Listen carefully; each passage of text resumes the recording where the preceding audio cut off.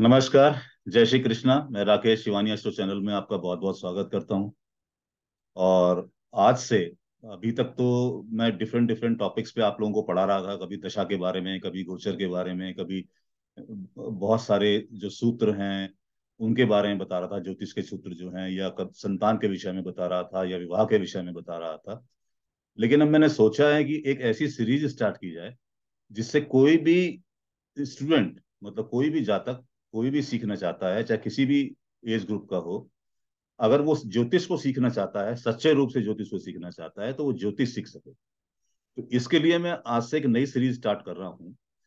आओ ज्योतिष सीखे या ज्योतिष ज्ञान जिसे बोलते हैं, ज्योतिष ज्ञान के नाम से ज्योतिष सीरीज़ स्टार्ट करने जा रहा हूँ, जिसमें शास्त्रों के हिसाब से ही, शास्त्रों के अनुसार ही ज्योतिष का ज्ञान दिया जाएगा, और उसमें कोई ऐसी बात नहीं होगी जो शास्त्रों के विरुद्ध हो और शास्त्रों में वर्णित ना हो। तो वही चीज़ हम आपको बताने जा रहा हूँ। स्टार्ट से हम स्टार्ट करेंगे इसको बिल्कुल। स्क्रैच से स्टार्ट करेंगे और स्क्रैच से लेके इसको एडवांस तक पूरा लेके जाएँगे, ताकि आप एस्ट्रोलॉजी एक ही प्लेटफॉर्म पे अगर आप सारी वीडियो देखते हैं तो पूरी तरीके से समझ सके। तो सबसे पहले हम लोग शुरू करेंगे। मैं स्टार्ट करता हूँ। थोड़ा एस्ट्रोलॉजी सीखने से पहले हम लोगों को कुछ वोकेबलरीज मालूम होनी चाहिए, कुछ चीज़ें मालूम होनी चाहिए कि कुछ एस्ट्रोनॉमी के बारे में कुछ चीज़ें मालूम होनी चाहिए कि लॉन्गिट्यूड क्या है लैटिट्यूड क्या है, या इक्वेटर क्या है। इस तरह की चीज़ें मालूम होनी चाहिए, क्योंकि एस्ट्रोलॉजी में हम इनका इस्तेमाल बहुत करते हैं। तो आज, आगे मैं आपको थोड़ा सा बताने से पहले मैं स्क्रीन शेयर कर लेता हूँ। मैं आपको थोड़ा एस्ट्रोनॉमी सबसे पहले बताऊँगा जो एस्ट्रोलॉजी के लिए रिक्वायर्ड है। क्योंकि खगोल विज्ञान के बिना ज्योतिष संभव नहीं है। खगोल विज्ञान से ही ज्योतिष शुरू हुई है, जब तक हमें ग्रहों के बारे में जानकारी ना हो, और जब तक कैसे हम लोग अपनी आकाश गंगा को देखते हैं, समझते हैं, इनके बारे में जानकारी ना हो, तब तक ज्योतिष को समझना असंभव है।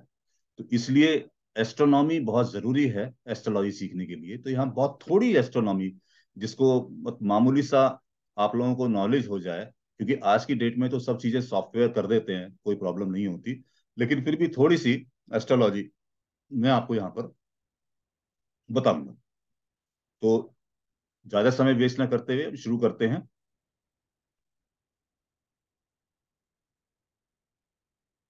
देखिए, सबसे पहली चीज़ आती है आकाश गंगा। इस तरह तो कहने को तो जो हमारा गैलेक्सी है मतलब जो हमारी जो आकाश गंगा है, वो स्पायरल शेप के अंदर होती है, जिसके अंदर हमारे सारा सोलर सिस्टम है। वो हमारी आकाश गंगा है, जिसको कि हम मिल्की वे आकाश गंगा कहते हैं। ऐसी बहुत सारी आकाश गंगाएँ हैं अंतरिक्ष में जो अनगिनत है, इतनी सारी आकाश गंगाएँ हैं, लेकिन जिस आकाश गंगा में हम लोग रहते हैं, वो मिल्की वे के नाम से जानी जाती है, और मिल्की वे दूधिया कलर की एक आकाश गंगा है, और वो स्पाइरल शेप के अंदर आती है, जिसमें हम रहते हैं, और उसके अंदर कई सौ अरब तारे हैं। तो सबसे पहली बात तो ये कि जिस आकाश गंगा में हम लोग रहते हैं, जहाँ हमारा सोलर सिस्टम है, वो मिल्की वे कहलाती है आकाश गंगा मिल्की वे कहलाती है। उसके बाद हमारे दो तरह से होते हैं ग्रह। देखिए, सूर्य है, ये आपको जो येलो कलर का दिखाई दे रहा है, ये सूर्य दिखाई दे रहा है। सूर्य के बाद में ये वीनस है, सबसे पास में ये मरकरी ग्रह है, मरकरी यानी कि बुध, वीनस यानी कि शुक्र, ये अर्थ मीन्स पृथ्वी, मार्स मीन्स मंगल, जुपिटर मीन्स बृहस्पति सेटन मीन्स शनि। तो ये सारे ग्रह हम लोगों ने यहाँ दिखा रखे हैं, ये यूरेनस, नेपच्यून और प्लूटो ग्रह भी हैं। जिनको इस्तेमाल करते हैं बट इनका इस्तेमाल ज्योतिष के अंदर इतना नहीं होता क्योंकि ये पृथ्वी से बहुत दूर हैं और इनका इफ़ेक्ट हमारे ऊपर आने में सालों, बरसों बरसों लग जाते हैं इनकी रेस को पहुँचने में। तो इसलिए इनका इफ़ेक्ट इतना नहीं मानते हम। हम इफ़ेक्ट मानते हैं जो ये ग्रह हमारे हैं। चंद्रमा सॉरी शुक्र है, बुध है, मंगल है जुपिटर है सेटन है। इन सब ग्रहों का प्रभाव ही हम अपने ऊपर समझते हैं, या चंद्रमा है, इन सब का प्रभाव हम अपने ऊपर समझते हैं। तो सबसे पहली चीज़ इनके अंदर आती है कि ग्रह दो तरह के होते हैं, एक इंटरनल ग्रह, एक एक्सटर्नल ग्रह। आंतरिक ग्रह और बाह्य ग्रह। अब ये क्या चीज़ होती है? आंतरिक ग्रह का मतलब ये होता है, जो ग्रह सूरज के बहुत पास होते हैं। सूर्य, देखिए ये सूर्य है आपका।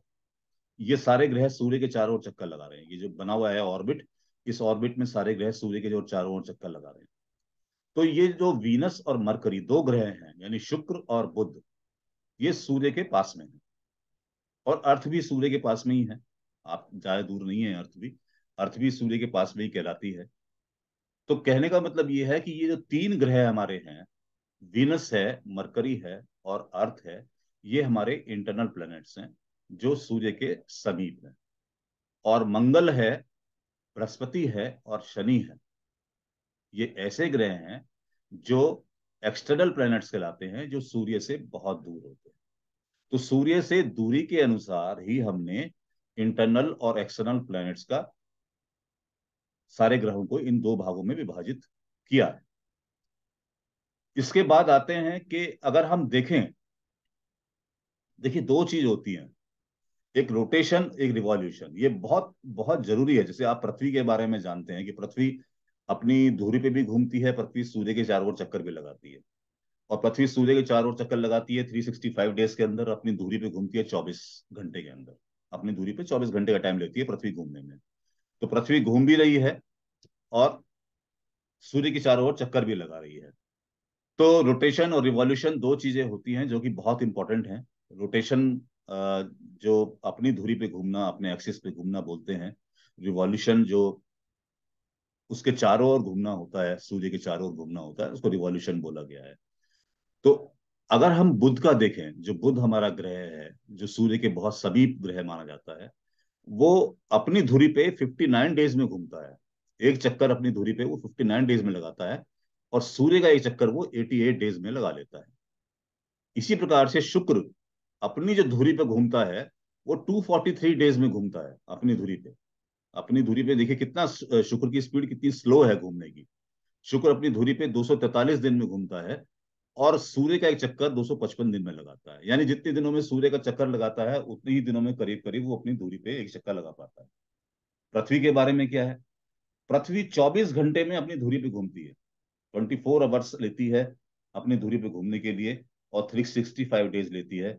सूर्य के चारों ओर चक्कर लगाने के लिए। इसी प्रकार मंगल ग्रह है। मंगल ग्रह है जिसपे आज के लिए आज का जो बहुत ही ज्वलंत विषय बना हुआ है मंगल ग्रह पे। सब लोग जाना चाहते हैं मंगल ग्रह के ऊपर। सब देश ट्राई कर रहे हैं मंगल के लिए क्योंकि वह मान रहे हैं कि मंगल ग्रह पे जी, जीवन संभव है। वो भी अपनी धूरी पे 24 घंटे में घूमने का टाइम लगाता है। यानी मंगल का भी जो रोटेशन टाइम है अपनी एक्सेस पे घूमने का वो 24 फोर आवर्स है। और जो सूर्य के चारों ओर चक्कर लगाता है 687 डेज़ है। यानी वहाँ मंगल पे एक साल 687 डेज़ यानी छह सौ सतासी दिन के बराबर होता है। अब इसी प्रकार जुपिटर पर आइए, देखिए जुपिटर की स्पीड बहुत ज़्यादा है। जुपिटर अपनी धुरी में दस घंटे में घूम जाता है। अपने जो रोटेशन है, अपनी धुरी पे घूमने का दस घंटे में एक चक्कर लगा लेता है जुपिटर अपनी धुरी पे। लेकिन सूर्य के चारों ओर चक्कर लगाने में क्योंकि सूर्य से बहुत दूर है, उसको बारह साल करीब लगते हैं। तो सूर्य के चारों ओर चक्कर लगाने में वो बारह साल लेता है। तो वहाँ पर मतलब कहने का यह है कि बृहस्पति पे एक साल हमारे बारह साल के बराबर है। इसी प्रकार शनि अपनी धुरी पे घूमने में ग्यारह घंटे लेता है और सूर्य के चारों ओर घूमने में थर्टी ईयर्स करीब लेता है twenty nine point five years तीस साल का समय लेता है सूर्य के चारों ओर घूमने में। यानी हमारी जो पृथ्वी का एक साल है, वो शनि तीस साल मतलब शनि का हमारा इनका शनि का जो तीस साल होते हैं, तब जाके हमारा पृथ्वी पे, जो हमारे तीस साल होते हैं, तब जाके शनि का एक साल होता है। तो इतना डिफरेंस है इसके अंदर।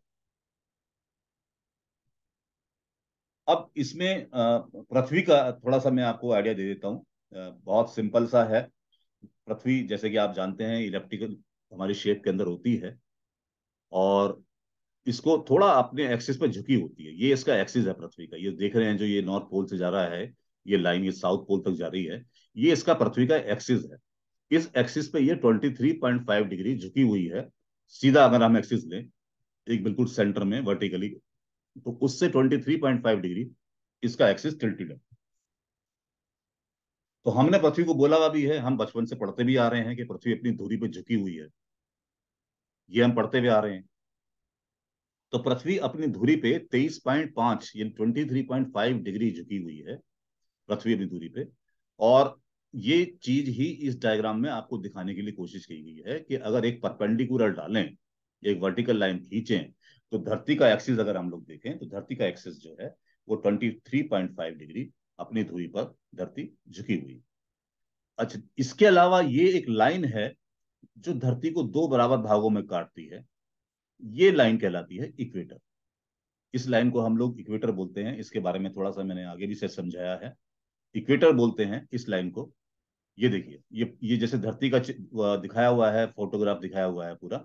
इसको दो लाइन में डिवाइड कर दिया है। इस लाइन को डिवाइड करने वाली लाइन को बोलते हैं इक्वेटर इक्वेटर बोलते हैं, इससे जो ऊपर का जो ये जो आपका हेमिस्फेयर बना है, इसको नॉर्दर्न हेमिस्फेयर बोलते हैं। क्योंकि देखिए, क्या होता है कि ये नॉर्थ डायरेक्शन है। ये साउथ डायरेक्शन है, ये ईस्ट डायरेक्शन है और ये वेस्ट डायरेक्शन है। तो नॉर्थ, साउथ, ईस्ट और वेस्ट। तो इसलिए इसको नॉर्थ पोल बोलते हैं, इस साउथ पोल बोलते हैं। आपने सुना भी है वो जो, जब क्रिसमस आती है तो सेंटा क्लॉज के बारे में आप सुनते भी हैं कि नॉर्थ पोल पर रहते हैं सेंटा क्लॉज और वहाँ से वो गिफ्ट्स लेके आते हैं बच्चों के लिए अलग अलग उसमें यूरोप कंट्रीज़ में तो जाते ही जाते हैं और इंडिया में भी जाते हैं। मतलब सब जगह ये फ़ेमस है कि क्रिसमस के दिन सेंटा क्लॉज गिफ्ट्स लेके आते हैं बच्चों के लिए और कहा जाता है उनके बारे में कि वो नॉर्थ पोल पे रहते हैं। तो नॉर्थ पोल और साउथ पोल, ये दो पोल में डिफाइन, डिवाइड हो गया है। हमने पृथ्वी को दो हिस्सों में डिवाइड कर दिया, बराबर बराबर। तो ऊपर वाले हिस्से को बोलते हैं हम नॉर्दर्न हेमिस्फेयर, नीचे वाले हिस्से को बोलते हैं हम साउदर्न हेमिस्फेयर। क्योंकि ये साउथ पोल की तरफ़ है तो इसको साउदर्न हेमिस्फेयर बोला। ऊपर वाला नॉर्थ पोल की तरफ़ है तो उसको नॉर्दर्न हेमिस्फेयर बोला। ये दो हिस्से हमने पृथ्वी के अलग अलग कर दिए। तो ये दो हिस्से करने वाली जो लाइन होती है यही लाइन इक्वेटर लाइन कहलाती है। इसलिए इक्वेटर का ध्यान रखना आपको बहुत ज़रूरी है कि इक्वेटर लाइन क्या होती है हमारी। विश्व रेखा भी बोलते हैं इसको हिंदी के अंदर। इसके बाद आता है मेरिडियन। मेरिडियन, ये दो चीज़ें क्यों बता रहा हूँ मैं आपको? बहुत सिंपल है। आप इसमें ज़्यादा ध्यान मत दीजिए। ज़्यादा कंफ्यूज होने की आवश्यकता नहीं है इसके ऊपर। लेकिन फिर भी आप थोड़ा ध्यान दीजिए कि मेरिडियन जो है, ये पृथ्वी एक ग्लोब ले लीजिए, जैसे आप घर में आपका ग्लोब रखा होता है, पृथ्वी का ग्लोब बना होता है, उस ग्लोब को अगर वर्टिकली दो हिस्सों में काटें वर्टिकली दो हिस्सों में काटें तो ये प्राइम मेरिडियन कहलाता है। वहाँ पे तो उस ग्लोब को हमने हॉरिजेंटली काटा था, ऐसे काटा था। दो लाइन में तो वो इक्वेटर था। इसको अगर वर्टिकली दो हिस्सों में काटें तो इसको हम प्राइम मेरिडियन बोलते हैं, और प्राइम मेरिडियन ये हमारा कहलाता है पृथ्वी की सतह पर एक उत्तर दक्षिण रेखा है, जो दोनों भौगोलिक ध्रुवों को जोड़ती है। इमेजिनरी लाइन है, जो नॉर्थ साउथ लाइन है, जो अर्थ सरफेस पे है that connects both geographical poles यानी कि नॉर्थ पोल और साउथ पोल दोनों को वो जोड़ती है। और इसी को लॉन्गिट्यूड इस्तेमाल करते हैं लॉन्गिट्यूड के रूप में इस चीज़ को बोलते हैं हम लोग। लॉन्गिट्यूड कहा जाता है। जब हम लोग बात करते हैं ना कि आपने एस्ट्रोलॉजी में सुना होगा, जब भी हम लोग शहर डालते हैं प्लेस ऑफ़ बर्थ डालते हैं सॉफ्टवेयर के अंदर। तो प्लेस ऑफ़ बर्थ में लिखा होता है, जब सिलेक्ट करते हैं तो वहाँ आता है प्लेस ऑफ़ बर्थ दिल्ली तो दिल्ली का नाम आप लॉन्गिट्यूड देखेंगे तो वहाँ पे लिखा होगा कि सेवेंटी नाइन डिग्री ईस्ट ऐसे करके लेटीट्यूड लिखा होगा कि इतने डिग्री वेस्ट ऐसे करके लिखा होता है। तो वो जो लॉन्गिट्यूड और लेटीट्यूड है, वो बेसिकली क्या है, वो मैंने आपको यहाँ बताने की कोशिश की है। कई पुरानी बुक्स के अंदर तो मतलब जितने भी पुराने राइटर्स थे, आप बीबी रमन साहब की बुक्स उठाइए या पुराने बुक्स उठाइए, वहाँ पे वो लोग सिर्फ़ प्लेस ऑफ़ बर्थ को ना देखे, सिर्फ़ ये देते थे कि जो प्लेस ऑफ़ बर्थ है, वो लॉन्गिट्यूड इतना और लेटीट्यूड इतना। प्लेस ऑफ़ बर्थ का नाम नहीं देते थे। आज की डेट में तो हमारे पास सॉफ्टवेयर हैं, हम लोग प्लेस ऑफ़ बर्थ का नाम हमें मालूम होता है तो स्टेट का नाम भी हमको मालूम होता है तो हम वो लॉन्गिट्यूड लेटीट्यूड अपने आप ही ले लेता है उस चीज़ को लेकिन सोचिए कि अगर आपको लॉन्गिट्यूड लेटीट्यूड ही दिया होता प्लेस ऑफ़ बर्थ ना दिया होता, या स्टेट का नाम ना दिया होता तो कैसे आप ढूंढते? तो उस चीज़ को बताने के लिए लॉन्गिट्यूड क्या है लेटीट्यूड क्या है, यही एक तरीका है कि जो ये प्राइम मेरिडियन जो हमारा बना, जिसने दो हिस्सों में इसको बांटा, इसके जो ये पैरेलल्स लाइन है सारी, ये सब लॉन्गिट्यूड कहलाती है। ये जो पैरेलल लाइंस हमारी हैं ये सारी हमारी लॉन्गिट्यूड कहलाती हैं। ये सब लाइन हमारी लॉन्गिट्यूड कहलाती हैं। ये सब लाइन जो है हमारी, ये लॉन्गिट्यूड कहला रही है। जो पैरेलल लाइन हमारी आ रही है नीचे, ये सब लॉन्गिट्यूड कहलाती हैं। और लॉन्गिट्यूड की जो वैल्यू होती है वो ईस्ट और वेस्ट में होती है। ईस्ट और वेस्ट में होती है, क्योंकि लॉन्गिट्यूड देखिए, अगर जैसे यहाँ से हम लेते हैं, ये लॉन्गिट्यूड आ रहा है, ये लॉन्गिट्यूड आ रहा है, ये इधर आ रहा है, ये इधर आ रहा है, और ये इधर आया। तो हम ये चेक करेंगे कि कितने ईस्ट में गया ये, क्योंकि ये लाइन जो है, ये ईस्ट है, ये इधर वेस्ट है, इधर नॉर्थ है, इधर साउथ है। तो हम ये चेक करेंगे कितने ईस्ट में गया। तो जितने ईस्ट में ये है तो हम कहेंगे भाई, इतने ईस्ट के अंदर हमारा लॉन्गिट्यूड बनता है। और लेटीट्यूड के लिए हम कहते हैं नॉर्थ एंड साउथ अब लेटीट्यूड हमारा देखिए लेटीट्यूड हमारा ये है, ये हमारी जो हॉरिजेंटल लाइंस हैं, जो उसको हॉरिजेंटल लाइंस इक्वेटर के पैरेलल चल रही हैं, ये इक्वेटर है हमारा। इसके जो पैरल लाइंस चल रही हैं, ये लॉन्गिट्यूड लेटीट्यूड कहलाती हैं। इनकी वैल्यू नॉर्थ और साउथ में होती है। मतलब लेटीट्यूड को हम नॉर्थ और साउथ में व्याख्या करते हैं। लॉन्गिट्यूड की व्याख्या हम लोग ईस्ट और वेस्ट में करते हैं। तो जब भी आप देखें कि लॉन्ग ईस्ट और वेस्ट में कोई वैल्यू डिफाइन है तो समझ जाइए कि वो लॉन्गिट्यूड है और नॉर्थ और साउथ में कोई वैल्यू डिफाइंड है तो समझ जाइए कि वो लेटीट्यूड है। लेटीट्यूड इक्वेटर के पैरेलल लाइंस होती हैं और लॉन्गिट्यूड मेरिडियन के पैरेलल लाइंस होती हैं। अब छोटा सा हिंट मैं दे देता हूँ। आप लोग सारे लोग पढ़ते हैं कि दो तरह के नौ तरह के ग्रह हैं। उसमें और साथ में राहु केतु ग्रह के बारे में भी आप लोग पढ़ते हैं। तो राहु केतु ग्रह का आपको मैं बता देता हूँ कि ये एक छाया ग्रह है। ये कोई फ़िज़िकल बॉडी नहीं है फ़िज़िकल एंटिटी नहीं है। ऐसा कोई पिंड नहीं है जो आसमान में या अंतरिक्ष में चक्कर लगा रहा है सूर्य के चारों ओर। ऐसा कुछ नहीं है। जो हमारा सोलर पाथ है उसको जो चंद्रमा का पाथ है, जहाँ चंद्रमा का पाथ, ये सोलर पाथ हमारा है, ये हमारा पाथ जो है सूर्य का, ये सोलर पाथ है। इस सोलर पाथ को जहाँ चंद्रमा का पाथ काटता है, उन दो हिस्सों को, ये यहाँ कटा और यहाँ कटा, इनको राहु और केतु बोलते हैं नॉर्थ नोड और साउथ नोड बोला जाता है, इन्हीं को राहु केतु बोले जाते हैं।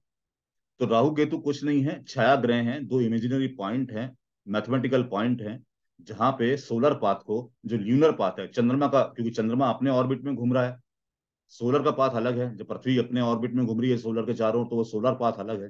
तो जहाँ पर वो सोलर पाथ और चंद्रमा का घूमने का जो रास्ता है ऑर्बिट है, दोनों एक दूसरे को कट करते हैं। वो जो कट वाले पॉइंट्स हैं, उन दोनों मैथमेटिकल पॉइंट्स को हम राहु और केतु बोलते हैं। जो नॉर्थ में होता है, उसको राहु बोल देते हैं, जो साउथ में होता है, उसको केतु बोल देते हैं। तो ये आप लोगों को समझ में आया होगा। तो ये मैंने आपको बताया इसके बारे में। एक तो हम लोग आगे और थोड़ा सा ले लेते हैं। ये इंडियन स्टैंडर्ड टाइम के बारे में है। ये मैं आपको नेक्स्ट वीडियो में बताऊँगा कि कैसे हम लोग इंडियन स्टैंडर्ड टाइम काउंट करते हैं, कैसे देखते हैं। तो यहाँ तक आपको मैंने समझाया है। इसके आगे नेक्स्ट वीडियो समझाऊँगा। तो यहाँ तक आपको समझने में कोई परेशानी मुझे लगता है कि नहीं हुई होगी। कोई परेशानी हो तो कमेंट्स कीजिएगा। मैं कोशिश करूँगा कि हर कमेंट्स का आपको जवाब दूँ, क्योंकि हम लोग अब बहुत सक्रिय होते जा रहे हैं इसके ऊपर। तो हर कमेंट्स का आपके जवाब देने की कोशिश करेंगे। इसके अलावा हम लोग एडवांस एस्ट्रोलॉजी के बैच स्टार्ट कर रहे हैं। जो लोग भी इच्छुक हों, वो सात जनवरी से एडवांस एस्ट्रोलॉजी का बैच स्टार्ट कर सकते में शामिल हो सकते हैं। इसके अलावा हम लोग कुंडली प्रैक्टिस भी कराते हैं। जो लोग कुंडली ऑलरेडी एडवांस एस्ट्रोलॉजी जानते हैं, कुंडली को प्रैक्टिस करना चाहते हैं केवल, वो भी हमारी क्लासेस को संडे टू संडे ज्वाइन कर सकते हैं। धन्यवाद। थैंक यू जय श्री कृष्ण। नमस्कार।